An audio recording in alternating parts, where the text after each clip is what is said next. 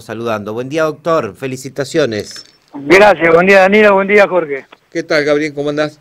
Todo bien, todo bien. Bueno, estabas escuchando un poco nuestro análisis recién mientras esperaba. Sí, sí, sí. La verdad es que eh, se coincido bastante con esto, pero yo le agregaría saber los motivos por los cuales la gente vota, ¿no? Eh, me parece que a veces también se dan eh, votaciones que determinan el fin de algún ciclo político. ¿No? Sí, sí. Y, me parece que con lo que decía vos del voto duro de, de, Cristina ahí en algún sector del conurbano, creo que ha marcado también, ¿no? La, el fin de, del kirchnerismo puro como opción de gobierno de la Argentina. Puede ser que en algunos lugares, como la provincia, hayan tenido un buen resultado, pero vos fíjate que, primero que no competían casi en todo el país, ¿no? El kirchnerismo. Pero después el resultado que ha tenido Cambiemos, La Pampa, San Luis, Entre Ríos, lugares que, de alguna manera casi era imposible ganar hace un par de años.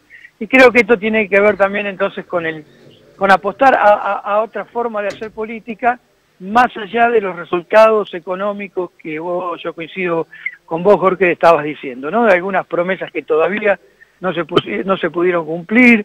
De, vos fíjate que esta elección se da en la provincia de Buenos Aires, aquí en Varadero, eh, juntamente con, con, el, con, el, sentir del tarifazo de las tarifas de gas, eh, y sin embargo la gente apostó aquí a nivel comunal a, apoyar un gobierno de Fernando Antonio Gevil, pero en forma muy clara, muy contundente, que tiene que ver, yo digo, con las obras públicas y con la forma de hacer política también, ¿no? Por eso se explica también la cantidad de votos. Esto, Gabriel, esto, eh, este... Mm, eh, esta lectura que estamos haciendo, eh, ¿también la podemos trasladar a, nivel local con, con Carosi?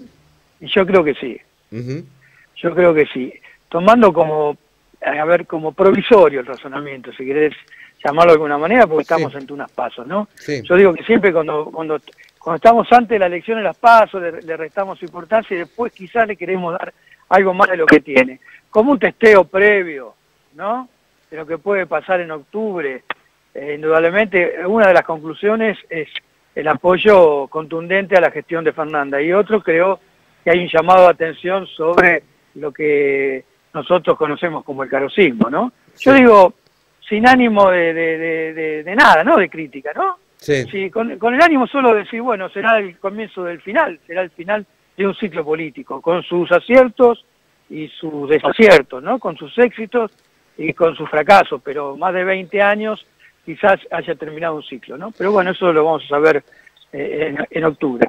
Gabriel, yo ayer eh, le mm, preguntaba al intendente y, también a Rosana porque eh, hay veces las pasos eh, eh, te marcan una mm, tendencia con relación a lo que pueden hacer mm, las generales, pero hay veces esa, esa tendencia se puede rebatir, como pasó en el caso en el 2015, donde Carosi gana las pasos por un poco mm. margen y después Antonijevich termina quedándose con el municipio. Daría toda la impresión, por la lectura que hacemos, que en octubre no va a cambiar demasiado lo que pasó ayer. No, no, no, no, creo que no porque a diferencia de lo que pasó en el 2015, la elección de intendente se, convirtió casi en, uno contra uno, ¿no? Era Fernanda o era Aldo.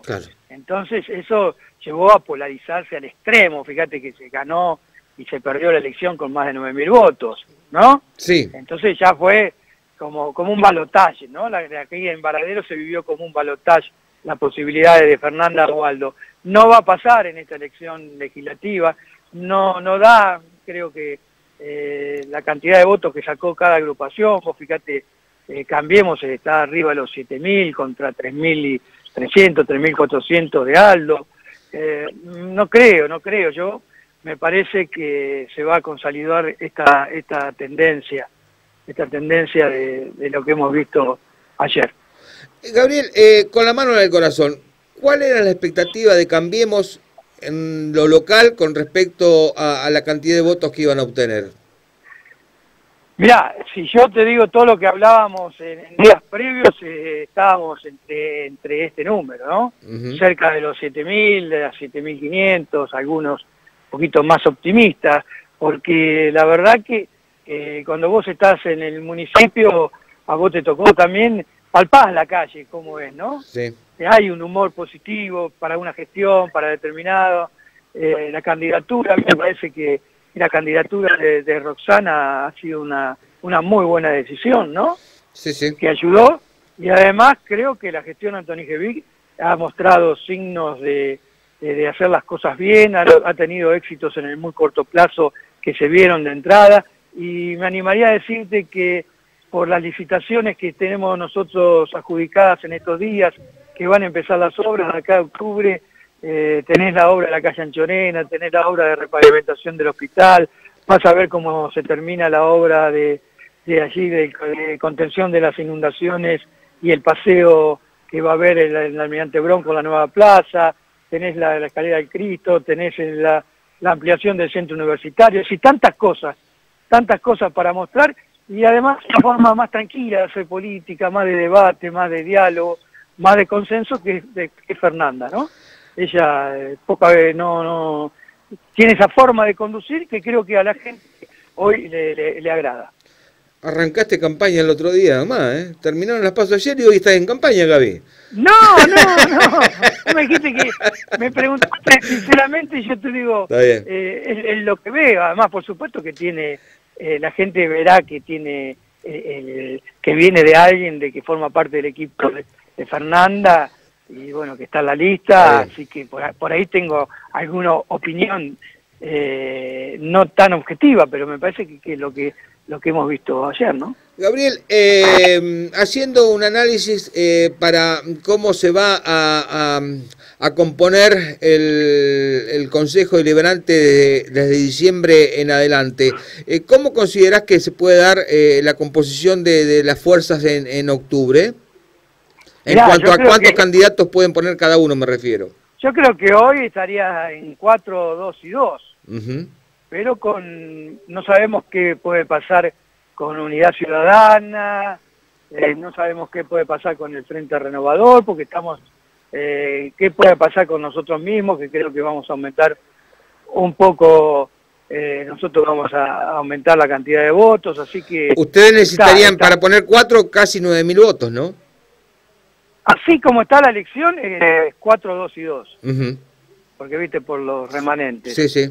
Pero bueno, después tenés que ver de qué pasa con definitivamente en octubre. Yo creo que va a ser, estamos cerca de, de, cerrar así, ¿no? Está bien. Con 4, Porque las demás, las demás fuerzas políticas deberían sumar todo, la unidad ciudadana, no haber ninguna dispersión y nosotros quedarnos como estamos para que pueda tener otro resultado que sería 3 y 3 cuestión que creo que no, que no va a suceder, porque va a haber, se va a movilizar eh, los votos de, todas las agrupaciones. Nosotros creemos que cambiemos, ya te digo, por lo que esperamos ahora, que se va a mostrar de la gestión en estos pocos tiempos más, y bueno, eh, creo que, vamos a poder lograr un resultado eh, más holgado que este. Además va a haber un, algún porcentaje más de votos, yo calculaba un 10% más. Exacto, exactamente, sí. Eh, yo estuve haciendo los números de la mañana, creo que estaba dando cerca del 70 y pico. Sí.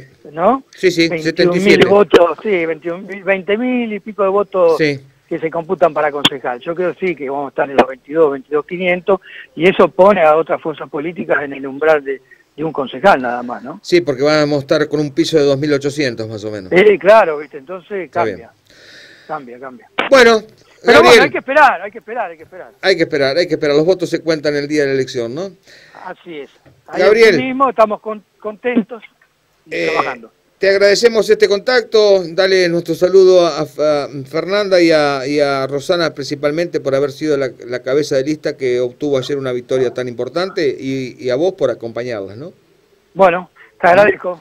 Listo. Un abrazo grande. Gracias, Gabriel. Chao, chao, Dani. Chao. El doctor Gabriel Descalzo, eh, candidato concejal de Cambiemos, hablando con nosotros esta mañana. Enseguida seguimos con otro testimonio.